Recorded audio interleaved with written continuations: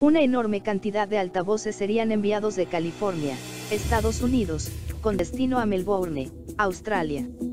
Cuando elementos federales de ambos países realizaron un operativo, donde dentro de dichas bocinas fueron encontrados paquetes de metanfetaminas.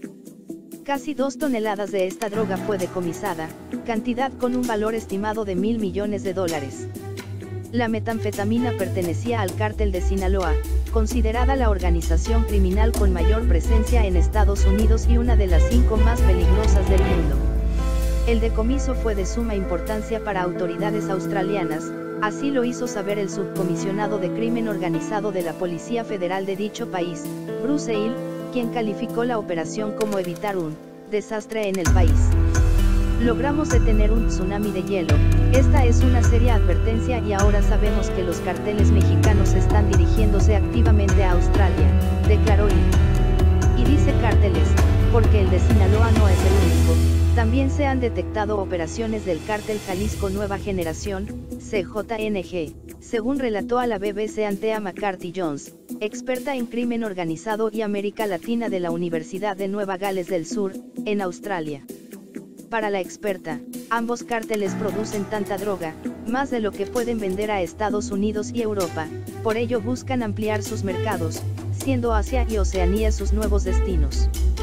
Para abastecer Oceanía, los cárteles utilizan la llamada ruta del cristal, en referencia a la metanfetamina, aunque también trafican con fentanilo y cocaína.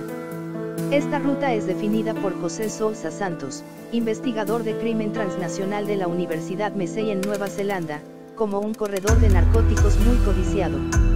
El bajo costo de las drogas en América y su alto costo en Australia y Nueva Zelanda están resultando en una tormenta perfecta, detalla Sousa Santos. Coincide ante a McCarthy Jones, en Australia se pagan los precios más altos del mundo por estas drogas así que es un mercado altamente lucrativo para los productores. También lo hace la Oficina de Inteligencia de Narcóticos de Nueva Zelanda, la metanfetamina producida en México fluye hacia Estados Unidos por la frontera sur y de allí va a Nueva Zelanda donde el producto final obtiene mucho más dinero. Según la Oficina de Naciones Unidas para la Droga y el Delito, un gramo de metanfetaminas que en Estados Unidos puede valer entre 30 y 60 dólares, mientras que en Australia y Nueva Zelanda puede costar entre 140 y 830 dólares.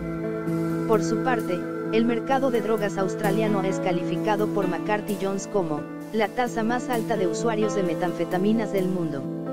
La incursión de los grandes cárteles mexicanos se siente en Oceanía. McCarthy Jones detalla que antes lo que se consumía en Australia eran producidas por cocineros, en pequeños laboratorios clandestinos, ahora es metanfetamina de importación.